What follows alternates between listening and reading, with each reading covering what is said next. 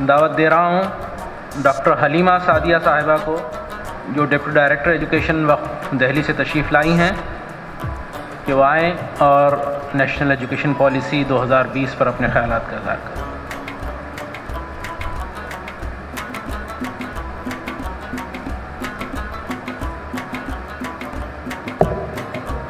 बिसमीम ख़वातिन हज़रात असलकम वरहमल वरक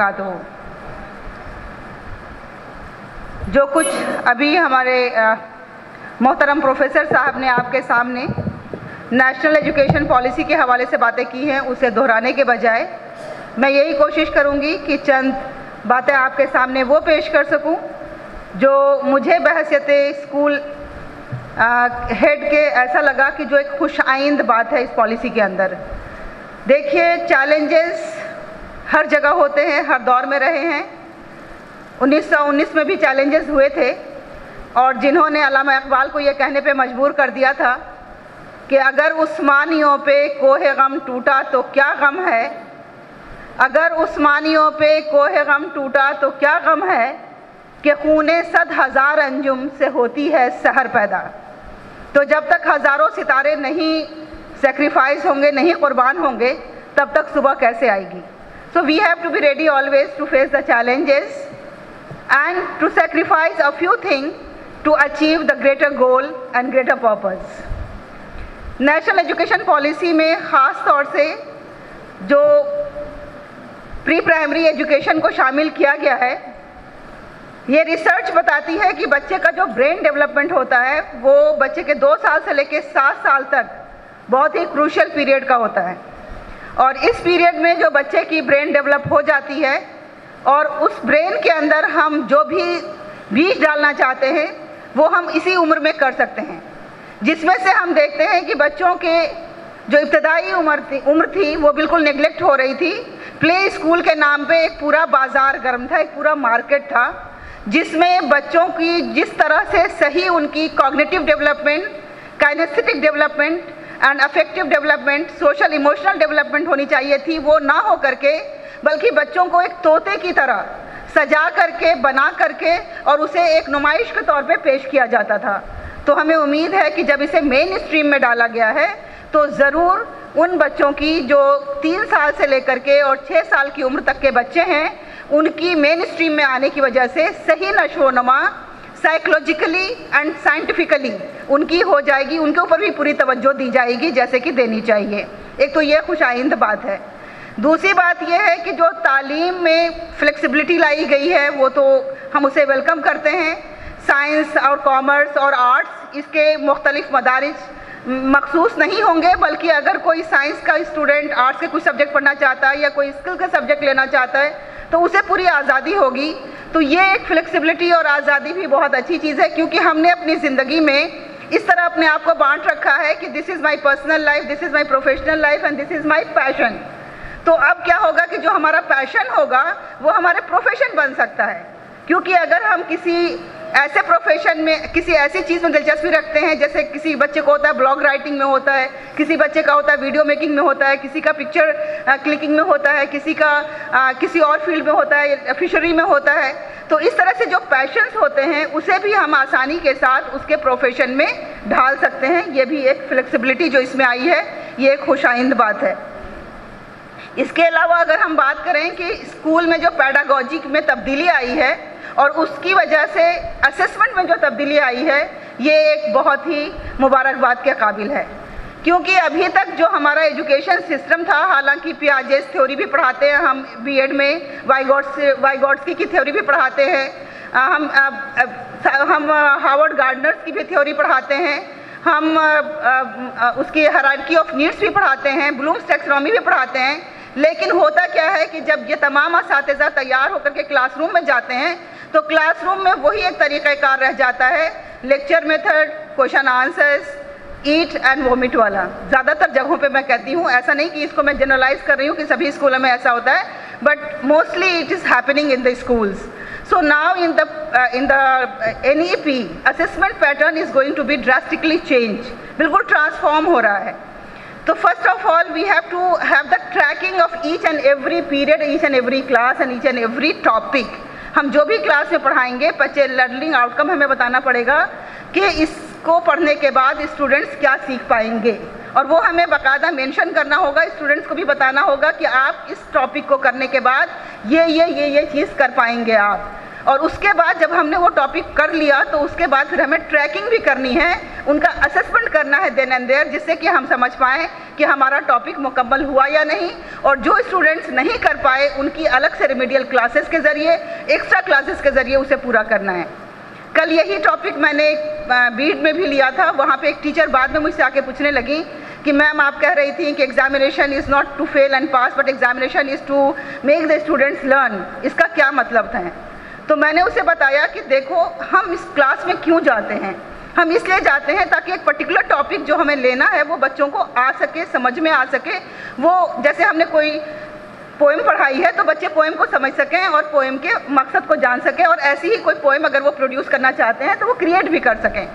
तो एक टीचर का मकसद ये होता है असेसमेंट के ज़रिए कि अगर जिस बच्चे को नहीं आया है, उसे फिर आना चाहिए। उसके लिए कोशिशें करना। तो ये जो नया असेसमेंट है, ये थ्री डिग्री अगर 360 डिग्री डायमेंशनल है, जिसमें कि असेसमेंट ना सिर्फ़ ये कि टर्म टर्म एंड एग्ज़ाम के ज़रिए होगा, बल्कि असेसमेंट हमारे डे वन से शुरू हो जाएगा। First tracking will be there then there will be assessment for the formation formative assessment will be there for the learning and then after that, the assessment will be not only by the teacher, but the assessment is going to be by the child himself बच्चा खुद को assess करेगा self assessment and then assessment by the parents and then assessment by the teacher and then assessment by the peer as well. Believe me, maximum learning happens by the peer. जो बच्चों एक साथ आपस में discussion करते हैं group discussion के ज़रिए डिबेटिंग के ज़रिए, आपस में किसी प्रोजेक्ट पे अगर कोलेबरेटिवली वो काम करते हैं तो मैक्सिमम लर्निंग वहाँ होती है। And this is a very effective tool that we have to keep in mind इसी असेसमेंट को मद्देनज़र रखते हुए जो पैडागोजी में तब्दीली आएगी, वो पैडागोजी में तब्दीली ये आएगी कि more focus will be on the learning and more focus would be on correlating the topics with the real life तो ऐसा नहीं कि हमने बच्चों को कुछ भी पढ़ा दिया क्लास में और जब बच्चा बाहर निकल रहा है तो उसे कुछ समझ ही नहीं आ रहा कि यह क्या पढ़ा दिया मैम ने। तो अगर हम बच्चों को कोई चीज़ मेजर करना सिखा रहे हैं तो हम क्यों ना उसको इस बिल्डिंग की हाइट मेजर करने को कहें? एंड क्यों ना हम उसको ये फॉर्मूला सिखाएँ कि किसी बिल्डिंग की हाइट कैसे ली जाती है तो हम उसे पेपर पे कराने के बजाय practically where the child is sitting we have to ask him to measure this buildings height So in this way, we have to correlate. We have to correlate the content, the topics, what we are teaching in the class with the real life, and we have to give the child an experiment. And on the basis of that experiment, we have to then ask in the class that what was his experience uh, and how he felt while doing this particular experiment. तो इस पे ज़्यादा ज़ोर होगा जिसमें बच्चे को provoke किया जाएगा सोचने के लिए बच्चे को प्रोवोक किया जाएगा खुद से करने के लिए यकीन जानिए कि हम बच्चों को नहीं पढ़ाते हैं अ फॉर्म बिलीव हम बच्चों को नहीं पढ़ाते हैं, बच्चा खुद सीखता है। हम फैसिलिटेट करते हैं। मुझे याद है जब मैं ऑस्ट्रेलिया में थी तो वहाँ पे मैं कैंगरू का जू देखने के लिए गई थी। तो क्योंकि कैंगरू वहाँ के बहुत मशहूर हैं, कोई भी जाएगा ऑस्ट्रेलिया तो सबसे पहले वो यही सोचेगा कि चलो मैं कैंगरूज को देखूँ देखूँ अपनी आँखों से, जबकि पिक्चर पे देखते हैं टीवी में देखते हैं। तो जब मैं वहाँ गई तो वहाँ पे मैंने देखा कि 25-30 बच्चों का एक ग्रुप था, जो तकरीबन 8 से 12 साल की उम्र के थे। और हर एक के हाथ में ऐसी बिल्कुल सेम डायरी थी। और वो जहाँ जहाँ जा रहे थे, बस कुछ कुछ डायरी में नोट कर रहे थे, फिर आगे जाते थे, फिर डायरी में नोट करते थे, फिर आगे जाते थे तो मैंने आउट ऑफ़ क्यूरियोसिटी एक बच्चे से पूछ लिया। मैंने कहा, बेटे, आप ये क्या कर रहे हैं?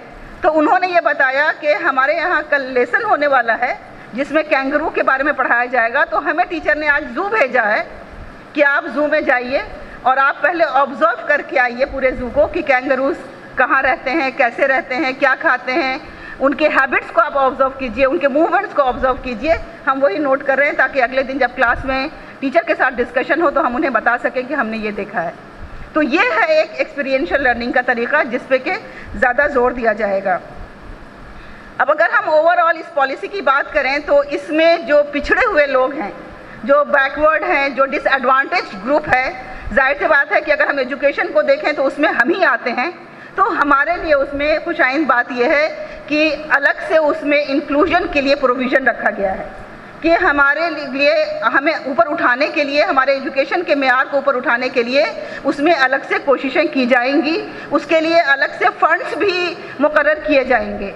तो ये कोई ऐसी बात नहीं है जिसके लिए हमें फ़िक्रमंद होने की ज़रूरत है, बल्कि इसके इस्तकबाल करने की ज़रूरत है। और टीचर्स एजुकेशन पे इस पर बहुत ज़ोर दिया जाएगा। रही बात टीचर्स एजुकेशन की तो चाहे एन इस पर ज़ोर डाले या ना डाले, हमारे मोहल्लमीन जो यहाँ हमारे साथ हैं, मैं भी एक टीचर हूँ, मैं ये कहना चाहती हूँ कि एक टीचर उस वक्त तक अच्छा टीचर हो ही नहीं सकता, जब तक कि वो अपनी लर्निंग को कंटिन्यू ना करे।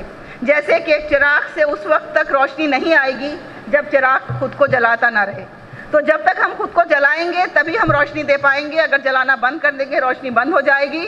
तो बराह करम, मैं आप सबसे यही गुजारिश करूँगी कि एन e को गौर से पढ़ें, उसे समझने की कोशिश करें।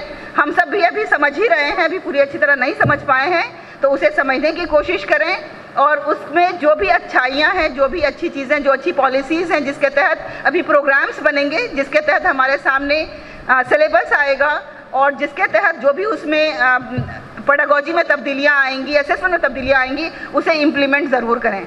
मैं ये बात इसलिए कह रही हूँ, जाने से पहले मैं आपको बता दूँ, क्योंकि मेरे अपने एक भाई से बात हुई, यहाँ की बात नहीं करी हूँ, किसी एक स्टेट की।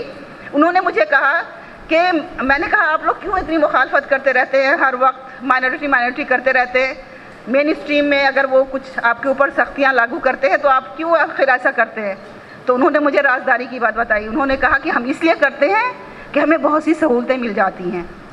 ठीक है, सहूलतें मिल जाएँ। अगर ये सहूलतें आप फाइनेंशियल समझ रहे हैं तो मैं वेलकम करती हूँ। फाइनेंशियल सहूलतें मिलनी चाहिए, लेकिन अगर सहूलतें आप इस टर्म में कह रहे हैं कि जिसमें पढ़ाना कम पड़ता है, बच्चों को देखना कम पड़ता है, बच्चों के के असेसमेंट में कोताही होती है, बच्चों की अटेंडेंस में कोताही होती है, जिसमें बच्चों के ऊपर ध्यान कम देना पड़ता है तो माफ़ कीजिएगा, ये रियायतें हमारी कौम को आगे ले जाने के लिए नहीं, बल्कि कौम को पीछे धकेलने के लिए हैं। और ऐसी रियायतें अगर कोई दे भी तो हमें उसका इनकार करना चाहिए।